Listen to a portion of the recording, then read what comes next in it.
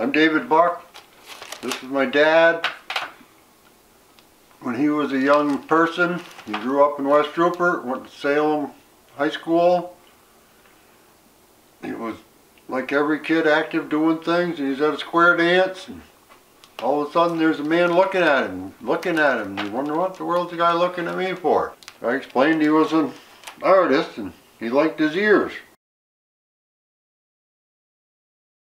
Dad had pretty good sized ears. So Norman wanted to know if he would be a model.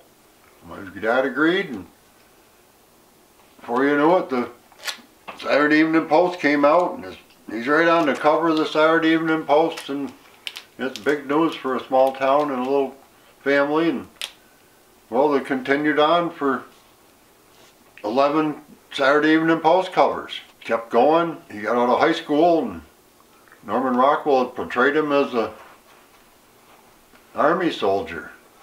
And he went into the Navy. Norman Rockwell wanted to know why he would do that. he didn't think he wanted to be a soldier. He thought he wanted to be in the Navy. So that's why he did that. He was in the Navy and he part of his job was working with the pilots. They had to shoot at targets to see if they could hit the targets from an airplane. It was going to be pretty necessary. If the country went to war, they had to be able to hit something when they were aiming. There was funny stories involved with that. Well, there was a fire back in Vermont at Norman Rockwell's studio in West Arlington, and they'd lost a, one of the copies they needed for the one of the Saturday Evening Post covers. So Robert was ordered to come back to Vermont to be repainted by Norman Rockwell.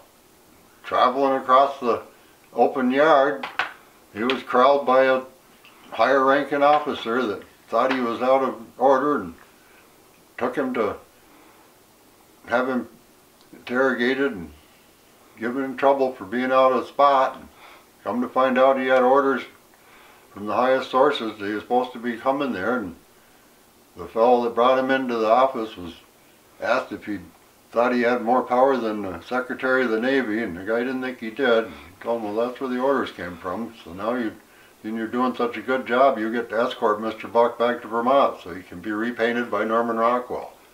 So that poor fellow had to spend a big time, big trip.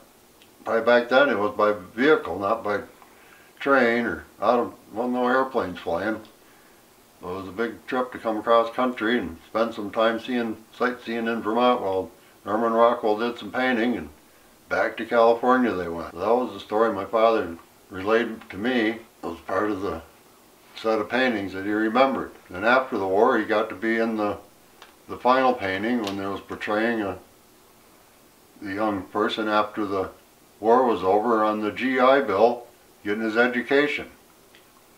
He was he thought that was a good thing to be part of. He had fond memories of it all, and but it was just a part of his early life, and he just moved on from it. And after that, he never didn't hear nothing about it and, until he got to be retired. In his later years, he would had more time for it, I suppose, and then maybe take more interest in the notoriety from it. So he'd go down to the museum and interview and talk to different ones. But it wasn't a like a career thing. He didn't ever think he was going to be a model for anybody else. In the portrait that shows him going to college, in the background there's a steeple.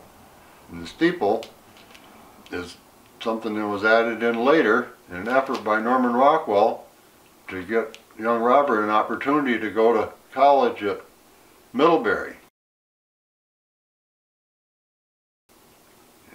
He asked the, there was no steeple, and he approached the dean at Middlebury College and asked him, do you suppose if we put the steeple from Middlebury College in this window that maybe Robert Buck would have a chance to go to Middlebury College. Robert never went to Middlebury College, but that was the story I was told. The portrait hung in the, the dean's office at Middlebury College for 50 years after that fact. The dean got done, the, the portrait, my cousin's husband was a friend of his and he was in there and he, he'd seen the portrait several times so he asked the dean, do you know who that is in there? And he said, no, I don't know who the model is. And I said, that's my wife's uncle. And then he told him the story how he was Willie Gillis. And that was just one of the 11 Saturday Evening Post covers he was on. And that's the story, my father's Norman Rockwell story, the best I can remember it.